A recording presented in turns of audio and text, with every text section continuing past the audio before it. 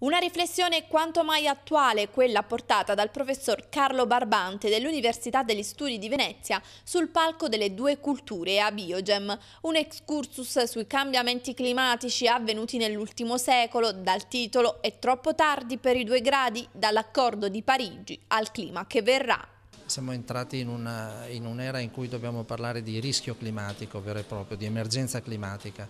Eh, quello che sta succedendo è ormai fuori da, da un sistema in equilibrio, la, conosciamo bene i link che ci sono tra eh, la concentrazione di gas serra in atmosfera e la temperatura e stiamo veramente andando verso un sistema completamente fuori controllo. Dal, dall'epoca preindustriale ormai abbiamo realizzato a livello globale un aumento di temperatura di circa un grado. Ci sono delle aree del pianeta comunque che eh, hanno dimostrato un aumento di temperatura ben superiore, per esempio l'Artico che per una serie di effetti che vengono definiti come amplificazione artica hanno fatto vedere un aumento di temperatura di addirittura 3 gradi con delle conseguenze per i ghiacci polari veramente molto drammatiche.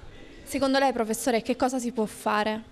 Ci sono molte eh, cose che si possono fare, adattamento e mitigazione devono andare avanti assieme. Adattamento vuol dire ormai il sistema è in una situazione di, di fuori controllo eh, e dobbiamo comunque eh, mettere in atto delle procedure di, per adattarci a questo cambiamento, quindi costruire delle barriere ad esempio per le piene, costruire delle dighe dove è necessario, per esempio sto pensando alle barriere mobili a Venezia per il contenimento dell'acqua dell alta e naturalmente anche mitigare, quindi eh, diminuire le emissioni, migliorare l'efficienza energetica.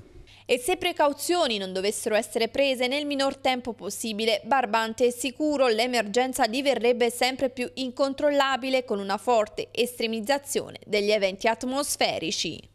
A luglio in Europa abbiamo avuto temperature superiori ai 40 gradi. Queste ovviamente portano a delle condizioni che sono assolutamente invivibili qualora il mix di temperatura e umidità salga sopra certi valori, senza poi pensare a tutti gli impatti eh, sulla salute ancora, sulla, sulla biosfera, quindi le migrazioni anche di esseri animali e anche umani, perché ovviamente dobbiamo trovare condizioni climatiche favorevoli. E poi la scarsità di acqua e il ritiro dei ghiacciai sono tutti eventi questi che già si stanno manifestando e con un ulteriore, solo un grado in più di, della temperatura attuale possono essere veramente estremizzati.